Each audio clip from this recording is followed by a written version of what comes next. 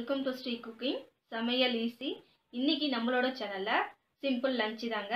நல்ல காரசாரமாக உருளைக்கிழங்கு காரக்குழம்பு நல்ல ஸ்வீட்டாக கேரட் துருவல் கம கம ரசம். இது மூணு தான் செய்ய போகிறோம் ஃப்ரெண்ட்ஸ் வீடியோக்குள்ளே போகிறதுக்கு முன்னாடி என்னோட சேனலை சப்ஸ்கிரைப் பண்ணலன்னா சப்ஸ்கிரைப் பண்ணிக்கோங்க. பக்கத்துக்கு இருக்கிற பெல் ஐக்கானுக்கு ப்ரெஸ் பண்ணிக்கோங்க.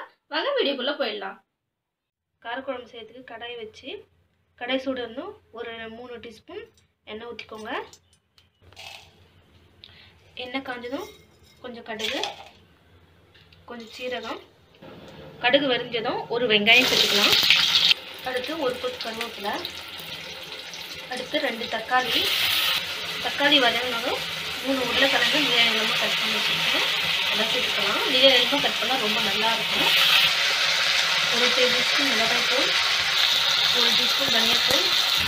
அடுத்து கொஞ்சமாக மஞ்சள் தூள் இப்போது மிளகாத்தூள் நல்லா வதங்கிடுச்சு. இப்போ கொஞ்சமாக தண்ணி ஊற்றிக்கலாம் அடுத்து தேவையான உப்பு சேர்த்துக்கலாம். நல்லா கொதி ஒரு பீஸ் தேங்காய் எடுத்து வச்சுருக்கேன். அதோட ஒரு ஒரு பூண்டு உரிச்சு வச்சுருக்கேன். அதை சேர்த்துக்கலாம். அடுத்து சின்ன சின்னதாக மூணு இஞ்சி துண்டு எடுத்திருக்கேன். அடுத்து நாலு மிளகு போட்டுக்கலாம். இது தண்ணி விட்டு நல்லா நைஸாக அரைச்சி கொண்டு வந்துடலாம். அடுத்து இது மாதிரி பேஸ்ட்டாக அரைச்சிக்கலாங்க. அடுத்து இது நல்லா கொதிக்கும் போது நம்ம அரைச்சி வச்சுருக்க பேஸ்ட் இதில் சேர்த்துக்கலாம். இது வந்து நல்லா ஒரு பத்து நிமிஷம் நல்லா கொதிக்கட்டும். நல்லா கொதிச்ச அப்புறம் ஒரு கொஞ்சமாக வந்து புளி தண்ணி சேர்த்துக்கலாம்.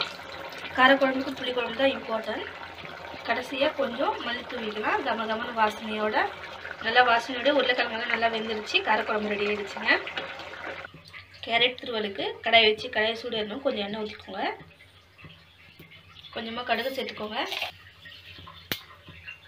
கடுகு உடைஞ்சதும் ஒரு டீஸ்பூன் உளுத்தம்பருப்பு சேர்த்துக்கோங்க.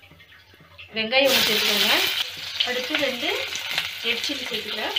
ஒரு கொத்து கருவேப்பிலை. அடுத்து ரெண்டு கேரட் வந்து ஸ்க்ரப் பண்ணி வச்சுருக்கேன். அதை சேர்த்துக்கலாம். அதோட ஒரு சிட்டிக்கு மஞ்சத்தூள் தேவையான அளவு உப்பு. இதோட தண்ணி எதுவும் சேர்க்க தேவையில்லை. இப்போ நம்ம எண்ணெய் ஊற்றணும்ல அதுலேயும் நல்லா வதக்கிக்கலாம். கேரட் நல்லா வதங்கிடுச்சு இதோட வந்து நான் தேங்காய் துருவி வச்சுருக்கேன். அதை சேர்த்துக்கலாம். நல்லா தேங்காய் சேர்க்கணுன்னே நல்லா ஒரு வாசனை வரும்.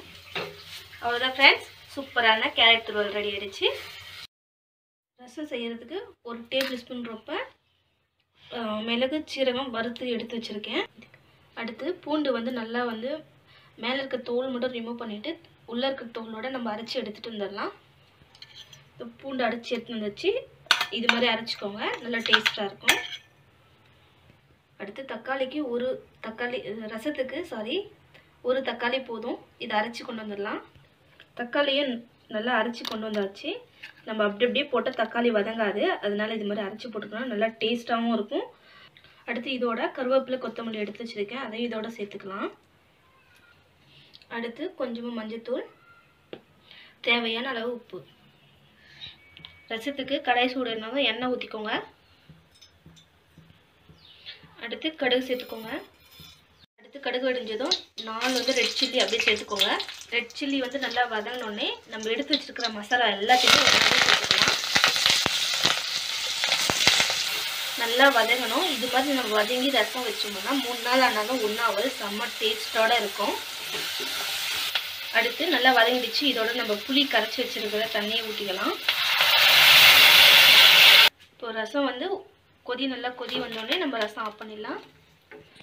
அவ்வளோதாங்க இந்த மாதிரி நல்லா கொச்சோடனே நம்ம ரசம் ஆஃப் பண்ணிடலாம். இந்த ரசம் வந்து நல்லா வாசனையோடு இருக்கும். இந்த மாதிரி நம்ம எல்லாத்தையும் சேர்த்து வதக்கி வச்சோம்னா ரசம் சூப்பராக இருக்கும். இது மாதிரி நீங்களும் ட்ரை பண்ணி பாருங்கள் நல்லா வாசனையோட கம கமன் சூப்பராக டேஸ்ட்டோடு இருக்கும். அவ்வளோதான் ஃப்ரெண்ட்ஸ் ரொம்ப சிம்பிளான லஞ்ச் ரெடி ஆகிடுச்சு காரக்குழம்பு கேரட் திருவல் ரசம். இது மாதிரி வந்து நம்ம செஞ்சு சாப்பிட்டோம்னா கேரட் திருவலும் காரக்குழம்பு செம்ம டேஸ்ட்டாக இருக்கும் இந்த காம்பினேஷனில் ரொம்ப சிம்பிளாகவும் ரொம்ப ஈஸியாகவும் ஒரு லஞ்ச் ரெடி பண்ணியாச்சு.